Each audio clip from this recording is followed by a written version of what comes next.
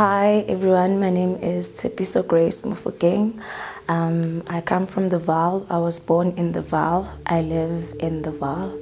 I'm a sister to four siblings. Um, the other three are my half brothers and one sister. Um, I am a labor law graduate. I am a gospel artist, singer, songwriter. Um, that is basically it about me. I grew up um, in a very comfortable childhood. Um, I, I, had my parents around um, with my sister. Um, as the years went by, I guess my parents had had a bit of a, a, a turf.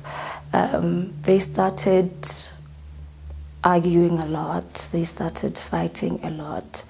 And growing up, I had like low self-esteem and I wasn't this this person that would be around people. I always wanted to be alone. I never had friends in school. I think I had one one friend all my life. Um, so yeah, while I was in high school, grade eight, my parents um, fought a lot, like a lot, a lot, a lot. And at the time, my sister was was still little, so being the first child um, to witness like people you love go through go through that wasn't wasn't nice. Um, I started having these like dark emotions. I started um, questioning God, why was I born to witness such things? Like, why, why am I here on earth? Um, I started having sort of like suicidal thoughts. I cried all the time, but at the time I did not know what was wrong with me. So um, one day, um, I think it was around 2 p.m., I woke up, I was going to the bathroom on my way to the bathroom, I realized that my parents' room was open. Um, sorry, guys. I found I found my dad um, packing his suitcase with, you know, with the hangers inside. He did not even take the clothes out of the hanger, and he packed and he left and I do not know why did he leave at 2 a.m. But in the morning, my mom found out that um, there's no clothes in the wardrobe. There's um, there's nothing. He took everything and left, and we did not know where he was.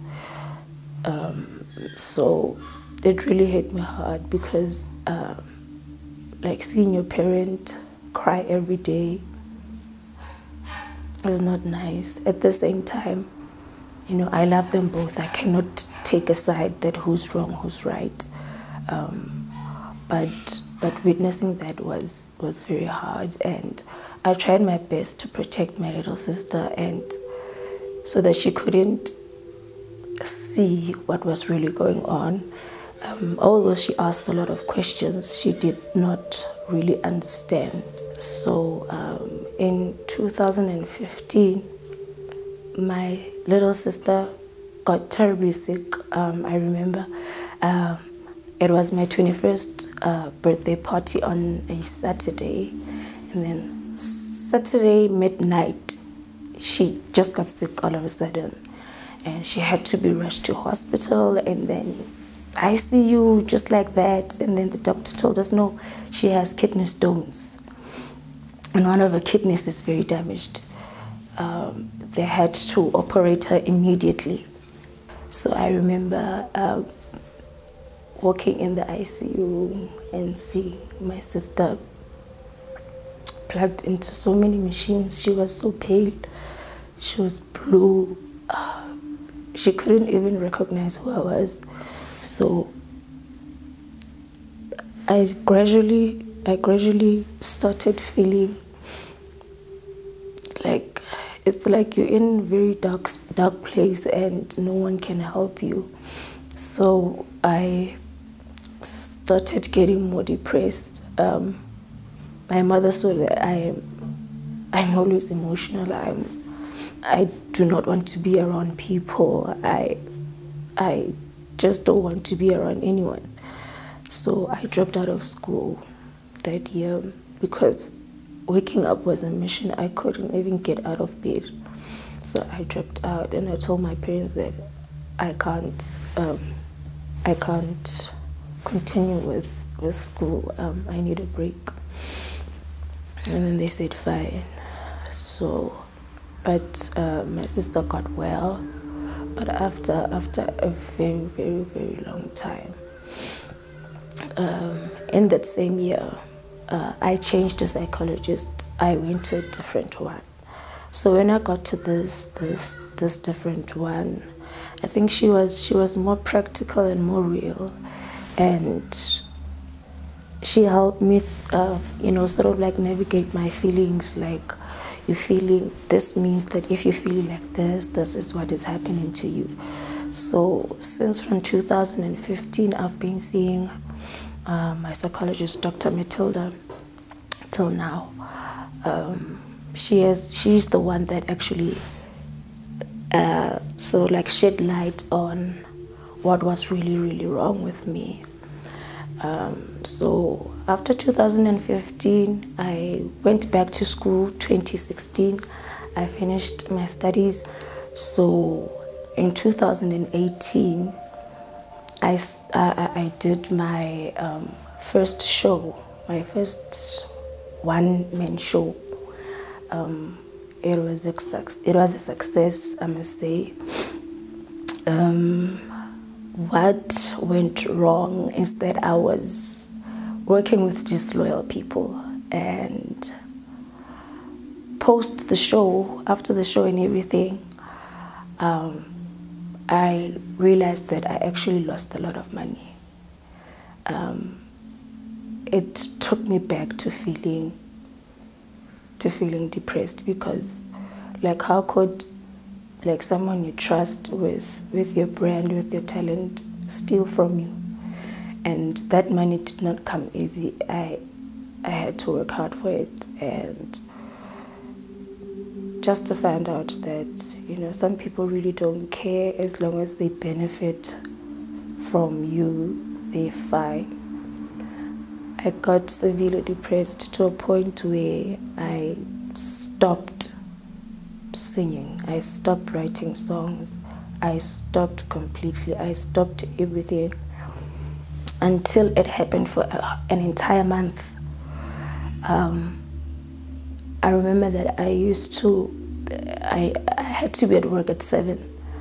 So I would get to work at 6.30 and then around 8 every day, Monday to Friday, I would go to the bathroom and just cry myself.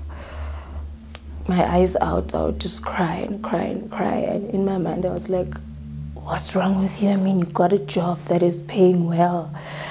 Like, who doesn't want to work for this company and and and you got a job but i still did not see the light in all of that so every day when i got to work i would cry and cry and cry so what i did i, I used to weight losses and maybe in my mind i thought that people would not recognize that um, i've been crying sunday morning as I was packing to go back to work, it started again.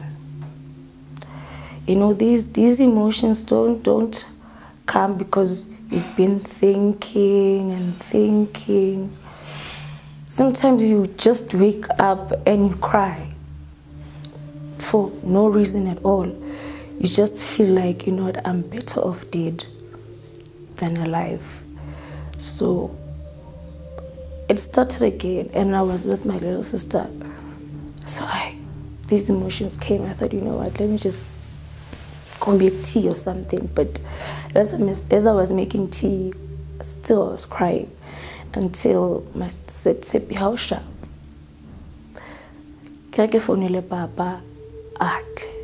Because my mother was at work. And then we called he she called and like i couldn't stop crying. She called my dad. My dad rushed me to the hospital. So when i got to the hospital my mother was already at the hospital was already home. So she came to the hospital.